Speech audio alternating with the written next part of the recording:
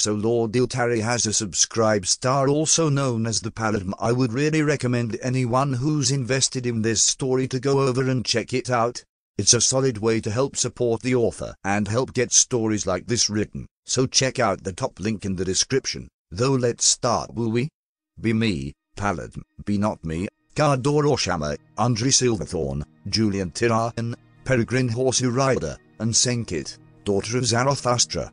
Beort, Hobgoblin NPC captured several sections ago and gradually won to the party's side. The party has arrived at the formidable Bloodystone Abbey, but are unable to take it by direct assault due to vastly superior enemy numbers and its heavy defensive positions. Thus, Yort has been sent as an infiltrator. Yort exits the woods onto the path a few miles back and starts sprinting for all he's worth down the path, eventually arriving ragged and out of breath before the Great Gate. Message from the northernmost bridge Decanus Carver calls for aid. He gasps out, and the gate is opened for him. Once inside, he is quickly escorted past the goblin camp, and heads through the main door, up a set of stairs, down a hallway, and stands before a large oaken door. He knocks, and a harsh voice barks, Come! Yort takes a deep breath and steps into the legate's office. Across the room sits an old hobgoblin, a patch over one eye, clad in full plate with the crimson hand of Maglubiyet upon his chest. The man's face is scared from many battle, his hair shaved entirely to deny any chance at grasping it, though he does maintain a respectable goatee of black hair, turning grey. His soul red eye bores into the younger man with intense scrutiny. At his side are two others, at his left is the Bylesque, Scythia, a tall woman also clad in plate. In her left hand she bears the legionary standard, a white banner with the faintly glowing symbols of the goblinoid gods upon it. In her right, a drawn gladius. At his right, the pontifex, Heraclius, the highest ranking cleric in the legion. In the corner, the goblin jester, a slimy creature named Thimbiblius, sits on his head on a barrel, flicking at the bells on his crown. Yort salutes smartly and delivers his report. Decanus Carver requests aid in the continuing defense of the northern bridge, sir as we have positively identified the Gnoll band approximately one and a half day's march from our position. This causes the legate to raise an eyebrow, explain how you discovered this, and explain the composition of the force. He commands, Eight days ago, we identified a column of smoke rising in the west. Our outrider contingent had departed the previous day and had not yet reported back in, so I and Munifex Fabius were sent to investigate. Due to our traveling on foot, we did not arrive until noon the next day. We observed that a Gnoll horde had discovered a halfling village and put it to the sword. At the time, we identified two score and half as many hyenas. Furthermore, I have reason to believe this particular band is led by a flind. That gets their attention. The presence of such a powerful monster was certainly cause for worry, and the size of the horde would be far more than the bridge outpost could feasibly handle. Combined with the sudden disappearance of the Outriders, this could prove a serious threat. I see your concern. What does Carver request in terms of support? Cluny says carefully. Considering the high probability that they will follow the river, Decanus Carver considers it likely that we will have to face them in open battle. However, scouting has identified a certain vale which could prove advantageous to a defense. We have formulated a strategy that should prove able to defeat the band with minimal loss of legionnaires, but we would require the deployment of 4 Decanum, 50 Goblin Singulars. And the Decanus also requests that either yourself, Pontifex Heraclius, or Pilus Scythia attend the battle in order to ensure the destruction of the Flind. I see. Your plan calls for the deployment of an unusually high number of Singulares though, that would deplete fully half our contingent. I wish to know why. In a word sir, bait, Yort says, and the goblin jester stops playing with his bells. The plan would call for the goblins to take up a position at one end of the vale to bait in the gnolls. Once they are engaged, the legionaries, split into two sections of 20, would advance from the opposite sides of the hills on either side of the band, allowing us to encircle them with our most valuable forces dedicated to maximize their effectiveness while minimizing casualties. Furthermore, considering the unusually high casualty rate even among Triarii against gnolls, this would also serve as a cut of the fighting population to ensure that any idea of mutiny becomes impossible even if we were to suffer decimation. The legate grins cruelly, both tactically and strategically sound. However, I know Carver, This wasn't all his strategy, was it? He relied somewhat upon my advice due to my prior command experience against sir. I suspected as much, considering that expertise. Whom do you recommend to engage the Flind? He asks. Yort hesitates. If he calls out the Cluny, he might have a chance to deal with him. However, it could also potentially cause him to suspect his loyalty. No, better to play his other card, strip away Cluny's allies, and leave him totally alone when he came to break him in his fortress. Under normal circumstances, I would suggest Pontifex Heraclius, however given a recent discovery, I believe he may be needed to deal with another potential threat. Therefore I recommend the Bylus. Another threat? It never rains but it pours I suppose. Explain. During my return to the abbey from the bridge, I passed through the woods and discovered a chapel located not far from the road, slightly more than half a day's travel from here. I also discovered a rather high number of undead in the graveyard around the chapel, considering their high numbers and the requisite forces needing to already be deployed to deal with the gnolls. I recommend deploying Pontifex Heraclius along with either another decanum of legionaries or another 20 goblinoid singulares. Your recommendation and scouting has been acknowledged. However, I would like to know why you recommended Scythia to deal with the flying rather than myself. Do you doubt my abilities? Negative, sir. I simply acknowledge that Flinds have proven able to defeat legates similar to yourself in the past, and thus considered the risk to command and control unnecessarily high. Furthermore, even assuming Bylus Scythia is killed, Considering her remarkable skills I have no doubt that she will have severely wounded the Flind, enabling it to be brought down with acceptable losses. Very well then, you are dismissed. Acquire food and water and rest as best you are able. You will relieve Scipius from guard duty tonight. Yort salutes and departs, the glare of the Bylus and the jester at his back. He smiles faintly, knowing exactly what would be talked about tonight out in the goblin encampment. Meanwhile, the paladins have not been idle in the least. Julian composes a report to the leader of the colonists, places it on his mount, and orders it east to the watchtower. The Black Charger thunders into the woods and out of sight, while Julian remains in the forward base to watch the abbey. Kasdor and Senkit have retreated to their newly consecrated chapel. Senkit watches the road while Kasdor gets to work reburying the dead and fixing the door. He does keep all the weapons though, stockpiling them in the chapel for later use.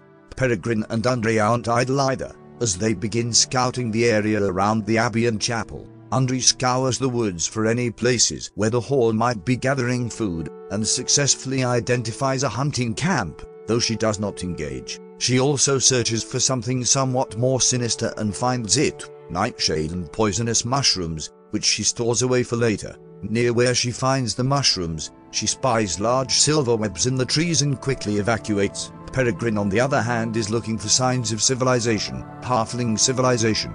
He is rewarded when he discovers a small hidden path, something nobody not a halfling would know to look for. Sneaking along it, he eventually spies a village, hidden in a forest clearing. He smiles to himself and returns to report back in camp, not looking far enough to see the far larger path, cutting through the forest into the village, cut with wagon wheels and hobgoblin boots.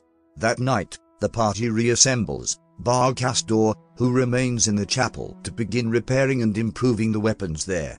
If they mean to rally an army, they're going to need those. Senkit sneaks close to the abbey, hoping to find the ghost again. While she doesn't find it, she does find Yort, who drops a small bag off the wall near where she hides. She retrieves it and hurries back to the party. Inside the bag, they find a map of the interior of the abbey, which Julian begins examining closely looking for any potential weak points.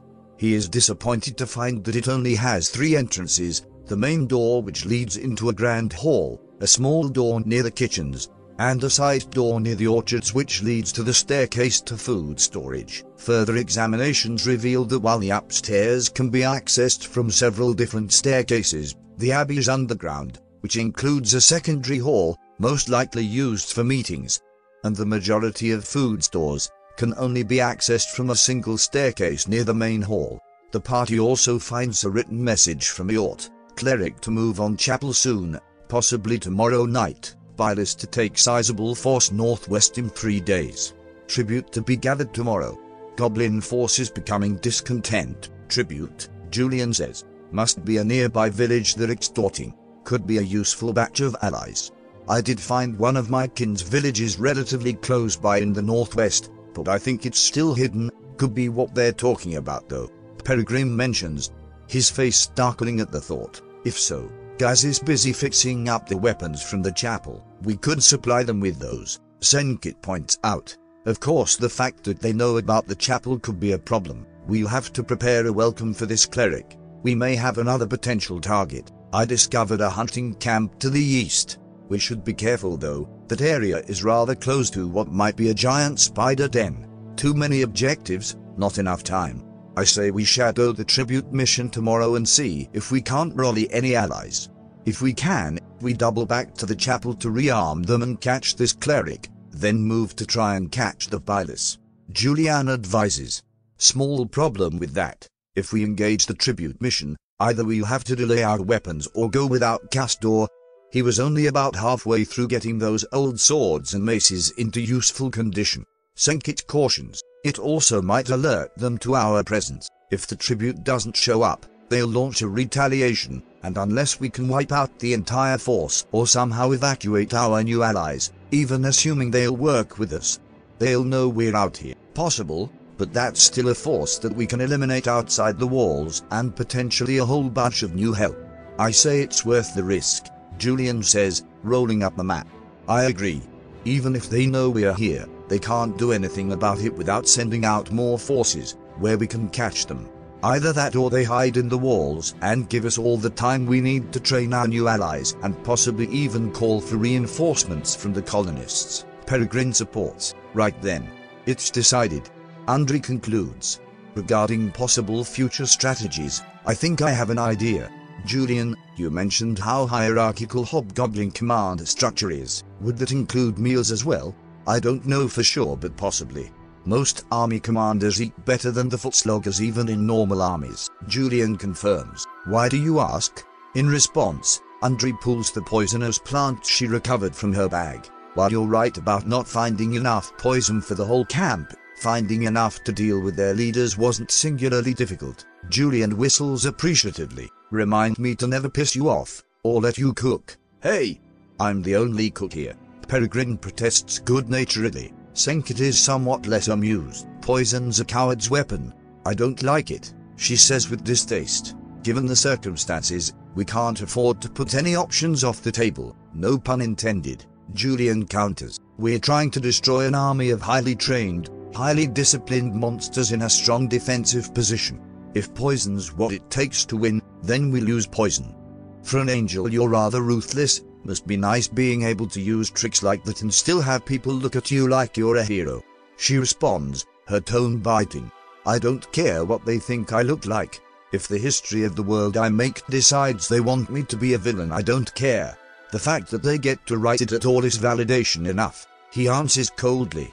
Honest devil and clever angel stare at one another for a tense moment, before Senkit shakes her head. Hells take you then.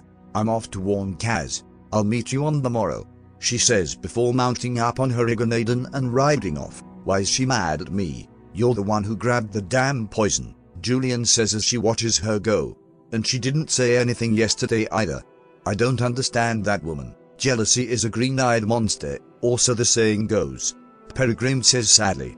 Though I must admit I find the poison plan distasteful, although I suppose dead is dead one way or another and not killing them is unfortunately not an option. Still Andre, what is it with you and poison? It's how a serpent defeats a far larger and stronger opponent, how the angelfish and the ivy protect themselves, how the gods remind us that might alone is not always victorious. I have never understood the moral connection you mortals put on it. Nature has many weapons, I will use whichever one is needed. I don't understand why she reacted this way, especially blaming Julian.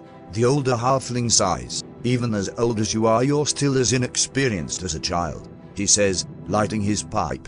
Imagine for a moment that her drow decided to turn from her wicked heritage and goddess and pursue goodness. Don't look at me like that, it's happened. Spend any amount of time north of Waterdeep and you'll hear about one. Every elf she runs across is going to look at her like she just crawled out of the abyss, so she's got to not only be good, she's got to be better than good. She has to become the most upstanding and virtuous person possible to prove to the world and probably in no small part to herself, that she's not some wicked hellspawn. All the while the so-called goody races can get by not working half as hard and being twice as nasty. A life like that changes the way you look at things, and too many get bitter, he says as he draws on his pipe. Meanwhile, Senkit rides back, rather frustrated, to the chapel, where Castor is still working, having used the discarded remnants of headstones to construct a small sort of forge, not hot enough for proper work, but hot enough to bring the old weapons up to form. I take it the meeting didn't go well, based on the fact that ye nearly undid all my hard work on the door coming in. Well enough. We have a plan, we have good information, we have enough targets to keep us busy for the next several days, and possibly even more allies. Seems I'd better see to it that these old things get ready to be used in a proper fight then, he says as he examines a scimitar. I'll stay up on this then, see if I can get them ready in time. We crack in any hobskulls tomorrow? I, Yort's found a tribute mission that'll be leaving tomorrow, we'll follow it and see if we can't get whoever they're extorting to help us. Right then, well I'm gonna need to ask ye for some of that coffee then to make sure didn't slow us down with yawning. Might need some help carrying the weapons as well, or at least as many as I can fix up before we head out. Kaz, if you need to remain and fix the weapons we can handle a few hobgoblins. Me lass, I've not let any work go undone when it's needed and I've left me comrades to fight without me. I'll be with ye, and these'll be done. He says determinedly as he redoubles his efforts, vigorously cleansing the rust from a saber while another goes into the faux forge. Senkit smiles, in spite of her somewhat foul mood at her friend's diligence. Well then, where do I help? She offers. Arnie ye don't lassie. There's a twist in your beard, and until that's coming out you need coming near me forge. Angry work is sloppy. So what's the issue? He says firmly, but not unkindly. Senkit's smile fails. Gah, poison. She curses. What's the damn point of killing goblins with the goblin tactic? Are we really so scared that we'll drop to that level? Elves are tricksy like that, Andre especially so, he says as he works. He thinks it's the honorable, and it's not. I'd rather just bloody chop 'em already, but it's still clever, and we've got to be clever single quote ERE. Clever's one thing, cowardly is another. Is this really how we win? With treachery and poisons? We're supposed to be better than this, we've a duty to be better than this, she says, and Castor turns. Is it that we've got a duty, or that ye feel bound? He asks. I, ye've a duty, a duty to protect the weak, to defeat evil, to aid your comrades, and to ne be ruled by fear. Are ye acting by duty, or are ye acting by fear? The Dragonborn turns from his forge and places a hand on Senkit's shoulder. Ye say we need to be better. I ken what ye mean. I had be better, drink more ale, praise the ancestors Maya fervently, mine harder, hate the Groby Maya fiercely, fight and mourn the fallen longer. For te many years, I, Arkendar needed to be better, he says, reptilian blue eyes looking hard into golden ones. Arken how I couldna, a dare to look even a wee bit greedy. Arken what it's like to live acting by the fear that you need different to your bloodline. Till my father told me, Kaz, if you were any different to a drake you'd need care, dragons didn't care. He raises his other claw and taps a talon over Senkit's heart. Ye've a good heart, Sen. Use your head and remember that devils didn't have hearts at all. Devils didn't care. He leaves his hand on her shoulder for a long moment. Two misfits together, and then turns. Come on then, lassie. I can use your aid with the maces. Be me. Be not me. be Because Dorokama, Andre Silverthorn, Julian Tirahan, Senkit of Chult, and Peregrine Horsey Rider the paladins of the Summerlands. With the aid of Yort the Hobgoblin, the party has successfully captured information regarding the next few movements of the local Hobgoblin war host, including a tribute mission, which they plan to intercept and destroy with the goal of gathering new allies for the eventual assault upon Bloodystone Abbey. Senkit and Castor awake as the sunlight beats down on the pair, slumbering quietly up against the warm side of Warpig. They yawn awake, surrounded by a small pile of refitted and reforged weapons, scimitars and maces, spears and axes, enough to outfit perhaps two score warriors. Kaz begins loading up Warpig with the small armory, while Senkit lights a small fire to boil coffee. Kazdor forces his down and proceeds to wash it down with several more cups of water. After a short breakfast, The scarlet pair set out, riding swiftly back towards the meeting place. There, the party assembles, hidden in the trees, some substantially more stealthy than others as they watch the road. Soon enough, their target emerges, a large wagon, largely empty but for five hobgoblins riding in it, carrying crossbows, is driven by another hob who goes the strong horses onwards. In front two march carrying stout halberds, and two more march behind. By some miracle of the dice gods, none of the sentries, passengers, or the driver noticed the giant war pig lurking in the bushes some 40 feet away, or any of the other paladins. The party lets them pass by some 200 yards before Undri and her elk begin to follow. After another few minutes, the party follows, keeping the white-haired elf in sight while she in turn stalks the cart. As they continue forwards, a lump develops in Peregrine's throat and a sinking feeling in his stomach as he recognizes the area the cart is traveling through and realizes where it is going. His normally bright face becomes grim, and the rest of the party recognizes the fell mood as not dissimilar to the cold fury that he showed during their battle against the gnolls. Their fears are confirmed as Undri drops back after about an hour's ride. They've arrived at their destination. It's another halfling village, she says, watching as the cold killing intent sharpens the halfling's hazel eyes. Another one. Considering the little folk are the only goodly races we've seen yet in this place I have to wonder if this was their land originally. Julian says, raising a knuckle to below his nose thoughtfully. Mayhaps laddie, but the smaller folk didn't build places like that abbey. That's doughy work, probably with human help. Kazdor confirms, yes, we don't build like that. It's why when everything else falls away, we remain. No castles to take, no empires to topple. If even my folk are under the goblinoid's thumb, then there are no goodly folk left, Peregrine says, his voice the quiet stone of determination. The party goes quiet, long they had suspected that they would largely be alone in their fight for this land, but the confirmation is enough to give even the valiant warriors pause in the enormity of their task. So be it, Julian says after a long moment, acceptance and resolve in his voice. If we five and the colonists are what we have, then we'll win with that. Enough talk, we have a village to save. The party nods, rousing itself from their reverie, and moves forwards, sneaking to the edge of the clearing to observe the village. Now that they have a chance to get a better look, they can see perhaps 15 houses, mostly all built in a small circle near the center of the clearing. On one side of the village, a stream, likely a tributary of the great river, runs through, surrounded by small nets and irrigated fields. It's not much, but it would be more than enough to keep the village well fed. A hut off to the edge seems off, until the wind blows and the stench of tanning liquids reveals its purposes. The hamlet is small, but seemingly prosperous, if not for the look of the inhabitant. The halflings here are the opposite of normal.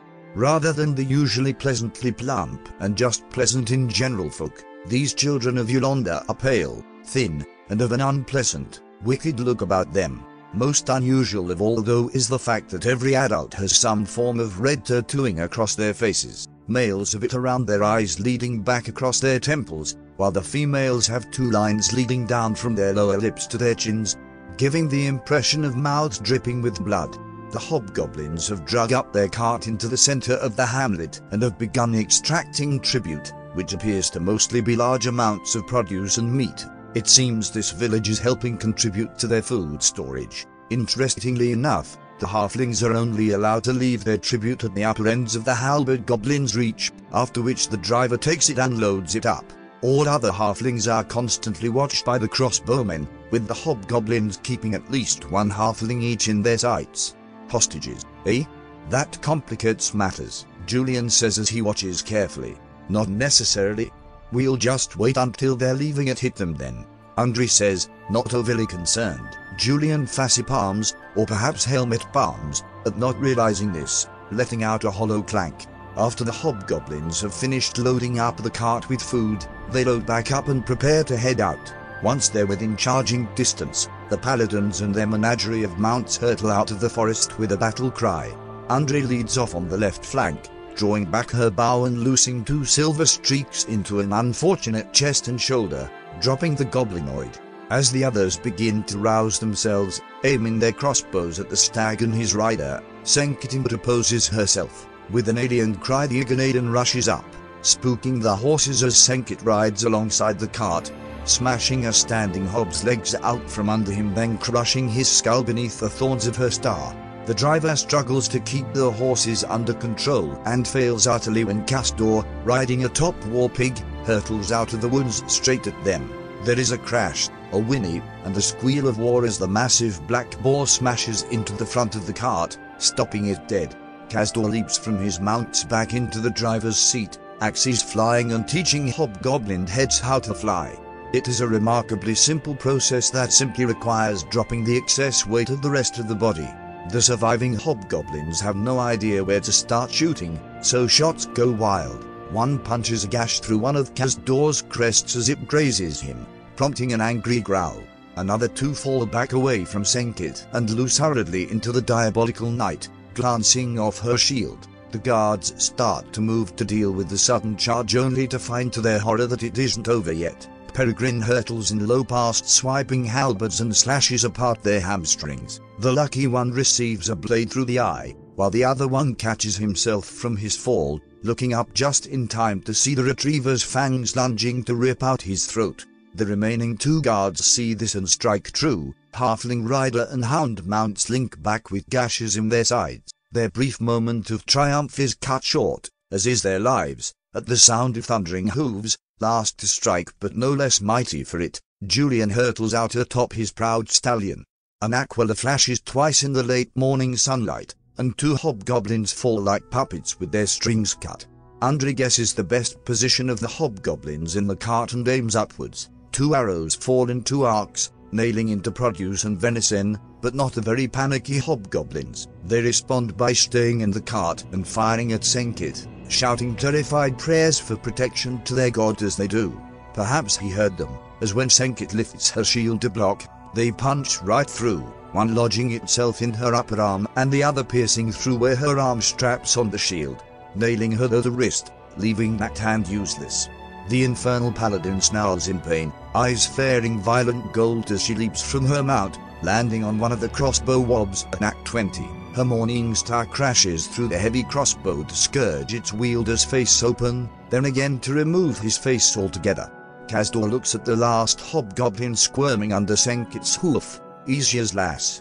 He says as he cuts the reins, letting the horses run free and terrified past the snorting war pig, who proceeds to walk around the cart and start snuffling for any mushrooms in the back. Senkit looks down at the creature struggling to get free and takes her hoof off, kicking away his crossbow.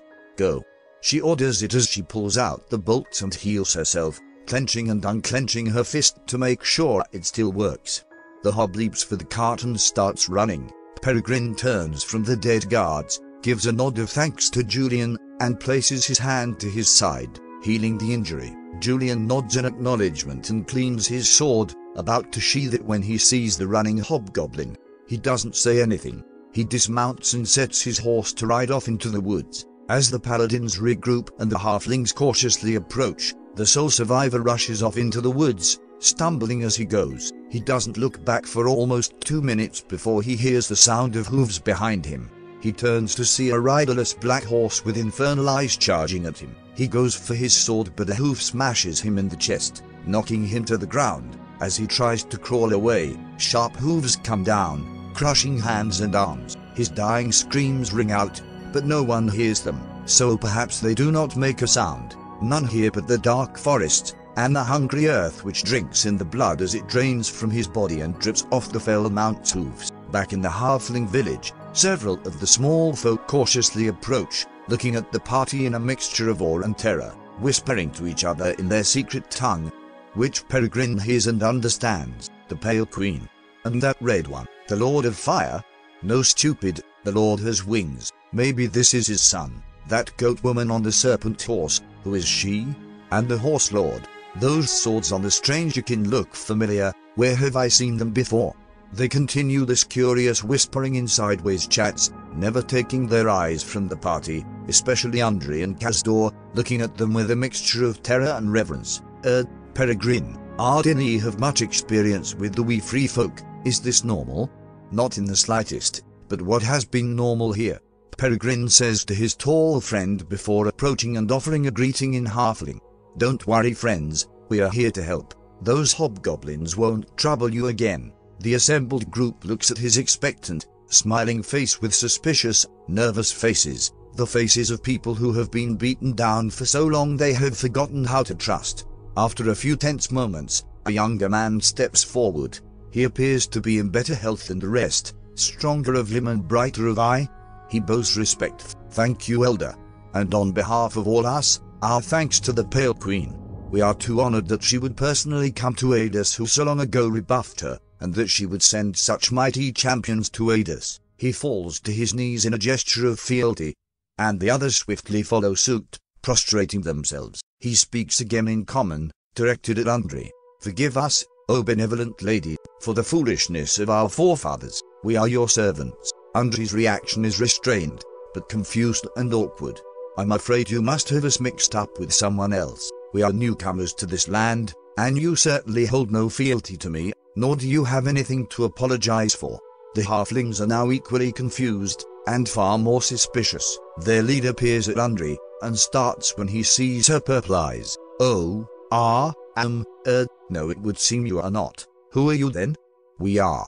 Andre starts to respond, and then realizes they don't really have a name for their party. Crusaders, warriors out of the south who have come to take back this land from the hobgoblins, the orcs, the gnolls, and more or less anything else evil up here. She finishes, recovering. Oh, well, ah, um, thank you, he says awkwardly. So you're here to get rid of the goblins from the old abbey, amongst other things, yes, Julian responds. I hope there's a lot more of you, he says plainly, or you're idiots. We get that a lot. Senkit responds dryly. As for more of us, well, we're working on that. Aha. Well, um, for a brief moment, a hospitable nature and a harsher nurture clash, and Peregrine can see the conflict play out, before curiosity wins out. Shall you stay for supper? Since you stopped that cart it seems we've got a good deal more of it. The Knight of Avery smiles, even in harshest circumstance, the heart of a halfling shines though. With some help from Kazdor and Senkit, the cart is hauled back into town and unloaded. Couldn't he help with this? Andre asks, pointing over at Warpig snuffling through the bushes in search of truffles or other delectable roughage. Ye try to lin I'm that, Kazdor says, moments before Warpig wanders over behind Andre and snorts, blasting hot air down her back and throwing her white hair in front of her face. Much to Julian and the halfling's amusement, as the shadows fall once more across the lands, the party assembles inside a longhouse with a long table. Julian pulls out his spellbook and begins chanting. Several of the halflings assemble to watch, and are delighted as a loaf of bread is conjured before them. The Aasimar smiles and reproduces the trick several times to contribute to the feast. Several singularly small halfling children become fascinated with Kazdor, running around his legs, patting his scales, trying to climb into his lap, and generally tormenting the dual dragonborn, who is just trying to enjoy a flagon of ale. Somebody rescue me from these wee wee skinners afore I die of frustration, he says mostly good naturedly as he picks up one child off his lap by the back of his shirt and puts him down. The lad seems entirely excited by this, putting out his arms and pretending he's flying. Senkit comes to the big guy's rescue, using thaumaturgy to begin performing a series of magical tricks, summoning a crown and tossing it up in the air, only for it to vanish when the children leap for it. The child seems most confused by this until her peers inform her that it is now upon her head, and she goes down in a playful tackle. Most of the halflings seem to shy away from Andre, until Peregrine comes over and pulls her into the center of conversation with the leader, apparently named Joke. And no Kaz, he is not not as wee as wee Joke Joke, but slightly smaller than Big Joke Joke, he's just Joke. So, Joke, who exactly is this pale queen you mistook my friend for? Peregrine asks good-naturedly, despite the apparent innocence of the question. Joke's face darkens. Long ago, when the big folk had just passed away from the abbey, a pale woman with white hair and red eyes came to us. She told our forefathers that since the abbey was gone, and the heroes were no more, that she could protect us, give us power to defend our homes, and that we would never be hungry again. After long hours in debate, our forefathers refused, so she left, and not long after the first of the hobgoblins came, they knew the secret paths into the village and put every man of fighting age to the sword. Even though the hordes have changed, Whenever one puts out another they find the village again, and so we have languished here since we refused her in ages long past, praying that she will come again and forgive us from the mistakes of our fathers and set us free, he says. Now I have a question for you. Whose son is your tall friend with the axes? Peregrine blinks, surprised at the question. I don't know. He was raised by dwarves, so I don't think even he knows. Joke frowns. Then you should know, scaled folk, proper sized like you and I, walk the land. One came here, saying that his master sought a long lost child, and that we would know them by their scarlet hide, by the fire in their soul, and by the marks of their ancestry upon their brow. They said that if we found this child, his master, the Lord of Flames, would drive out the hobgoblins and rule us from the abbey. He warns, be wary. If that's true, why haven't you turned us in? Andre asks suspiciously, hand drifting towards the dagger in her boot. I don't trust him. Joke responds, following her hand with his eyes. The scaly creature came out of the north, and we once had cousins there. I haven't heard from them in years, unless that thing was what was left of one. He says with a shudder. Peregrine watches him closely, then shakes his head. Enough of these dark words and evil thoughts. We have a feast to be enjoying, he says, rising from his chair by the fire and walking to the table. As the food, not quite a feast but still a decently sized meal, is laid out upon the table, Peregrine raises his mug in a toast and a prayer, as is the only way to honor gods of such a merry race. To Yondalla, for this feast, and to Avery, for this victory. He praises, and then looks around, the smile from his face slipping. The other halflings are looking at him in confusion. He looks back, equally confused before Joke speaks. I'm sorry, is this some southern tradition? I don't believe I've heard of either of those. Peregrine's heart turns to ice, and his hand shakes, his mouth goes dry and he cannot speak for fear. The words of the halfling woman those nights ago ring in his ears, it will be all at once easiest and hardest of all for you. Not too far away, in the redstone building, Yort halts in the hallway to salute as Pilus Scythia approaches him. You will accompany me on the expedition against the Gnolls. In recognition of your service in the report and your strategic advice, I shall grant you the honor of leading the left flank, Optio Yort. Yort pauses for a moment at the sudden, albeit temporary, promotion. I will be honored by this. He says, entirely honestly, and also well aware that this would also be an excellent way for her to get him killed if there actually were any Gnolls. We shall depart in two days. Select whichever Ticanum you believe will perform best. We will be slightly delayed in our march however. Why would that be ma'am? The tribute mission has not returned, I can therefore only assume that the savages were somehow lucky enough to resist it. Therefore, we shall go to that insignificant excuse for a village first, and then, and then, Optio, she says with a cruel smile, we shall burn it to the ground, and exterminate those stunted animals. Be me, be not me, Julian Tirahan, Senkit Zarathustra, Kazdor Orkama, Peregrine Horsey Rider, and Andre Silverthorn, Paladins Limited. Party has been busy chipping away at the forces around Bloodystone Abbey and recruiting new halfling allies in preparation for an assault. Several days' journey away, the colonists have begun to pack up and move in to take this new highly defensible position. In the morning after the feast, after much talking, eating, and drinking, the paladins begin unloading the weapons off of Warpig and arming their new short allies. Most take well to the scimitars and shields, but a few particularly brawny folk, woodcutters, builders and the like take to the maces. Peregrine begins to train the swordsman, while Senkit takes command of the mace squadron. Despite this, there's still not enough weapons, and no armor whatsoever. Andre begins leading the hunters in training with their bows and the captured goblin crossbows, while Kazdor, grumbling about the poor quality of Groby weapons all the while, begins to make the adjustments needed for the halflings to even begin to use the hobgoblin's weapons effectively. Finally, Julian takes command of anyone not preparing to fight and throws them into the construction of defenses. Traps are laid to disrupt any phalanx. A trench is dug and covered to serve as a defensive line, the earth from it moved back into makeshift earthworks. The front line is made as an inverted crescent between the main entry path and the village circle, with enough room at the sides to accommodate a cavalry charge from the woods. To protect against wolf riders flanking the main line, Julian and the woodcutters construct a series of long sharpened shafts, not proper spears, but good enough to stop the relatively small force of a goblin flanking charge if it comes to that and distributes them around the edge of the line. By the time night begins to fall, the halflings are a decently well equipped, but still ragtag militia. Despite their best efforts to prepare them for the inevitable hobgoblin retaliation, it is clear that the party is still the best, if not only hope for the village. The party eats a hearty dinner quietly, before setting guards and mounting up again. If the Ort's information is correct, the hobgoblin cleric and his forces should be at the chapel by now. Another tendril to slash off before their inevitable strike at the heart. The five ride out swiftly and quietly through the woods, passing by the route the tribute cart took to scout for a night attack, but the night is quiet, the air is tense, as though the forest itself is bracing for what will soon become all-out warfare. In the edge of the dark, Andri and Senkit can see the vines again, pulsing slowly but surely, to the beat of a far-off drum.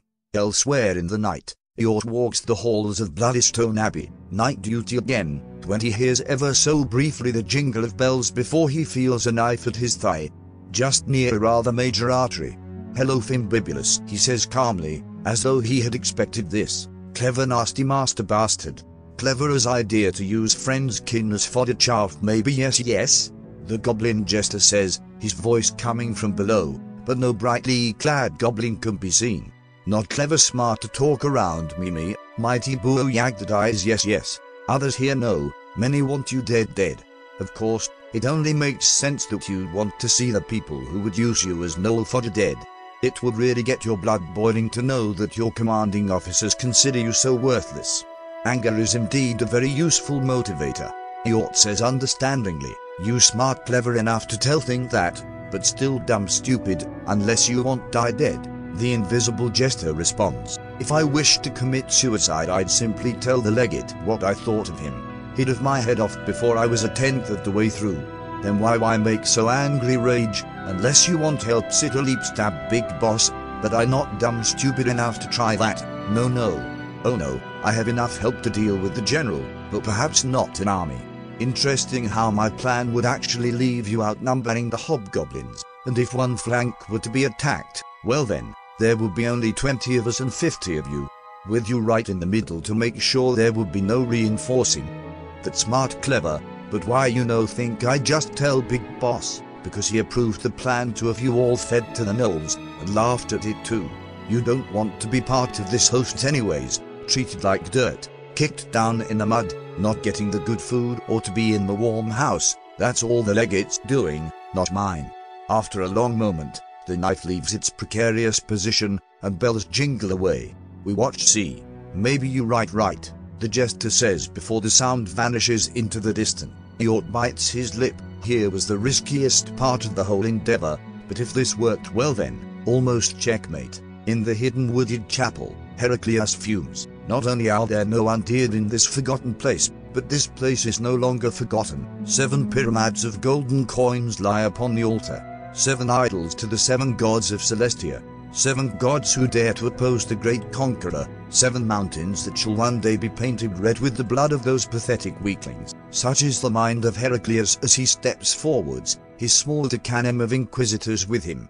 He swings his headsman's axe into the stone pulpit with enough force that the blessed weapon lodges itself in the stone. His hands shake with fury, as he sweeps the gold from the altar with a roar of fanatical rage. As he strikes each one, a flare of radiant energy ripples across his arm. But the faithful of Maglubiyet does not flinch away, and though his arm lies badly blackened from the effort, he soothes the pain and forces back the burned marks with a spell of healing, consecration. He hisses through gritted teeth, strong, and more than that, recent. A heretic walks the lands, he says, saying heretic in the same way normal people might say a man-eating blob of seagull splat the size and shape of a six-foot-long phallus. Who, who, who, who dares set up such idol, who dares to declare such insolence against the conqueror? He screams, worked up into a downright fanatical zeal. Who dares defile the altar of the heavens undivided? Senkit's voice brazenly answers, Who dares oppress the sons and daughters of Yondalla? Peregrine follows, who dares to dwell in an abbey built by the sons of Muradin? Kazdor rumbles, who dares to become a stench upon the land, and a stain upon her beauty? Undri challenges, who thought it was a good idea to waste time with these stupid chants.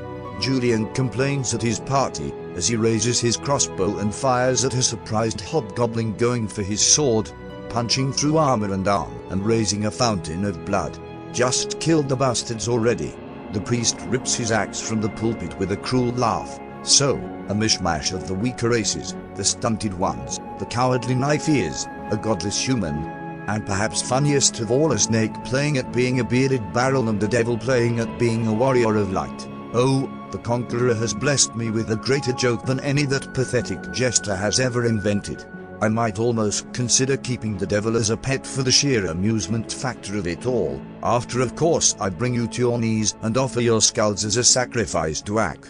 The mad priest's monologue is cut off as Julian walks forwards, draws his grey sword, Misty steps up to him, and nearly takes his head off. Shut up already.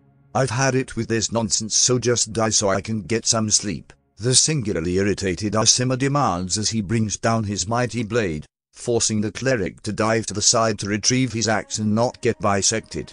All right, Inquisitors, kill this one, and bring down the others, their skulls shall become the new centerpiece of the Conqueror's newest chapel, he shouts as he rises to his feet. The hobgoblins shake their heads free of their fervent trance and horrified shock that a protagonist would actually interrupt a villain's monologue and draw their weapons, seven rushing the party while two move to assist the priest with Julian. Senkit deflects three out of the four blows that the hobgoblins rain upon her, but barely, taking a blow on the leg.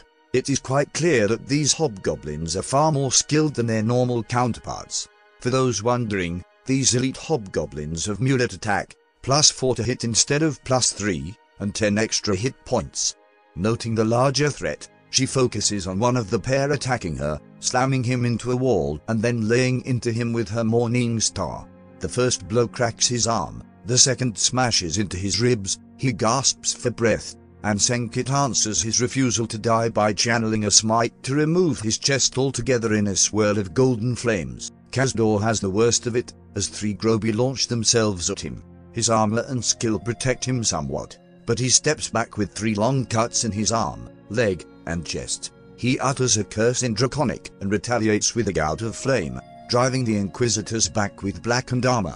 The Hobbs underestimate Peregrine, deploying only a single of their number to deal with him, but that lone fanatic is surprised with the smiling halfling slaps aside his attacks like mosquitoes. The diminutive duelist responds, opening wounds on the hobgoblin's forearm and legs. An ancient grudge against Elvenkind brings the hobgoblins attacking Undri to such rage that they discard their shields to strike at her harder.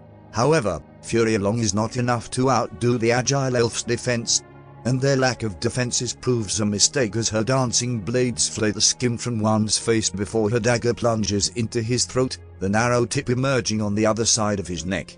As the priest and his acolytes assault Julian, the placid Aasimar remains calm, stepping away from one Hobbs swipe, and using his armor to deflect the other while the priest calls upon his mighty god to enhance his martial prowess, his stance shifting into that of a veteran warrior. Noting the increased threat, Julian calls upon his own power to remove the distractions. He steps into his swing, bringing the great blade down with enough force that even though the hobgoblin blocks, it carries through into where his neck and shoulder meet regardless.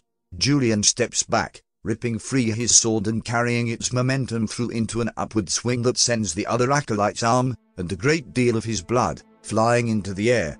And the unfortunate hobgoblin onto his back, his head hits the stones with a sickening crack. Julian turns his attention to the priest and readies his sword, and with a flicker of will and echo of it slides off it into the air beside him. Come then, let us see the strength of your God. Senkit turns from one dead fanatic to the next, parrying his first blow with her mace and catching the next on her shield. She throws the blade aside and lashes out with a hoof, striking him in the belly. As he doubles over, her morning star swings up and smashes into his mouth. She rips upwards, crushing his skull into his brain and ripping his face off with the cruel spines of the star. The smoky hobgoblins approach the massive dragonborn more cautiously, spreading out around him. However, the burns foul their blows and Kazdor gains no new wounds as he retaliates, severing the hand of one and the head of another before driving his axe into the side of the survivor, through his ribs and into his heart. For a moment, The one attacking Peregrine shudders in fear and hesitates to strike. Lay down your arms, there's no need for you to die. The halfling counsels him, hoping to get through, but the words of Maglubiyet are too strong, and he shakes it off as he leaps forwards with the cry to his god upon his lips. Peregrine pulls back with a cut on his shoulder, then catches the sword on his own and slides upwards into the young man's stomach, a mortal and painful blow. He sinks to his knees, a look of unbelieving pain on his face. You fought well, go to Acheron proudly. The halfling congratulates his opponent sincerely, before removing his head from his body and his soul from its mortal coil. The death of his comrades is not enough to dull the hatred of the surviving Inquisitor, who hammers down under his defenses and delivers a devastating two-handed cut across her throat in Act 20. Blood runs down like a waterfall, turning the white tunic scarlet, but the paladin does not fall, for hers is the strength of ancients. Instead she steps forwards, to the amazement of the one who dealt her that blow which to a normal person would be fatal, and drives both her blades into his stomach. He doubles over, dropping his weapon to grab at her arms, but she spits in his eye. Reflexively he lets go and she rips her blades out on either side, nearly ripping him in two. After a moment of tension, the servant of the goblin god and the paladin without the god fly at one another. Axe and blade clash off one another in a shower of sparks before one goes low and the other high. A gash appears on Julian's leg and a slash on Heraclius's arm. The phantom blade swipes through, splitting open the hobgoblin's eyebrow. Senkit watches the duel as she heals herself, her coat preventing her from intervening. Undri raises her hand to her throat as she falls to a knee, the blessing of the forest gods staunching the sanguine flow not a moment too soon. Peregrine turns and lays a hand on her shoulder, channeling his own magic to bring back what color there was to the already pale elf. Kazdor, seeing that this situation is well in hand, moves forwards to assist with the priest. As he rushes forth to claw and crushes it in his hand, for a moment, Heraclius goes stiff, before he shakes it off with an oath. Julian takes advantage of the momentary pause, two swords leaving three cuts along the priest's body. Heraclius steps back and his black eyes gleam darkly. Do not interfere, lizard, he shouts, and a similar stiffness seizes Kazdor and hurls him back across the chapel. Undri stands and draws her bow, firing into the melee. However, her shots miss as she must place them more narrowly to avoid hitting Julian. Peregrine rushes forwards but does not have Misty Step ready. Senkit moves to help Kazdor up. Yidini seem awful concerned for Julian their lassie. Kazdor mentions through gritted teeth, You took care of one of these slaves, and I've seen him fight often enough that I know he's at least as good as you in a fight. She says calmly as he sets him upright. Julian steps forwards to make good on that promise, catching the priest once in the shoulder, and then again in the other arm. Heraclius snarls and slaps aside the phantom blade before stepping forwards, feinting, and then shooting out his open arm, shrouded in black energy. Julian feels his entire body go cold with the weight of ages as the priest grabs him around the neck, pumping enough necrotic energy into him to make his arms fall to his sides. The black vines, pulsing darkly once more emerge from around the hobgoblin's strangling fist and spread across Julian's body and face, thriving and writing as if looking for a place to take root. Undri shouts a warning and fires twice, catching the hobgoblin in the shoulder but not breaking his grip. Peregrine lunges, cutting into his legs but getting kicked back. Castor finally breaks free with a shout and charges, stepping into mist and bringing his axes down. One is parried, and Heraclius ducks behind Julian from the other, forcing the Dragonborn to stop his blow. The flames of heaven again leap atop Senkit's horns as she delivers words of divine authority unto the black infestation that dares ride within her holy place and upon her friend's flesh. Back, back to the shadows thou wreck.he divine, here the heavens hold power, thou art banished. The vines flash and screaming golden fire as they are forced to relinquish their brief hold on this plane. Heraclius looks through the slits of the rounded helmet and sees eyes blazing with fury and determination to rival the heavens themselves. Julian seizes the arm holding him in a grip of iron. My turn. He growls, and crimson light flares. The flesh is boiled away and the bone splintered, forcing Heraclius to release his grip as his arm has just become useless. Julian raises his grey sword, strikes aside Heraclius's defense, cutting through armor to the bone, pulls back, and with a furious precision like that of a war god drives his blade through the priest's heart up to the Aquila cross guard. Heraclius gasps and coughs up blood on the Aasimar's arm, painting the golden hilt red. The conqueror shall strike you down. He rasps, and Julian begins to laugh. His laugh is long and cruel, like stained glass crashing to a blessed stone floor. Why hasn't he then? Come now, O conqueror, save your servant, he mockingly prays, then looks around. No response. Maybe he's away on a journey, or perhaps he's sleeping. He asks the dying priest. Maybe you just aren't close enough to him.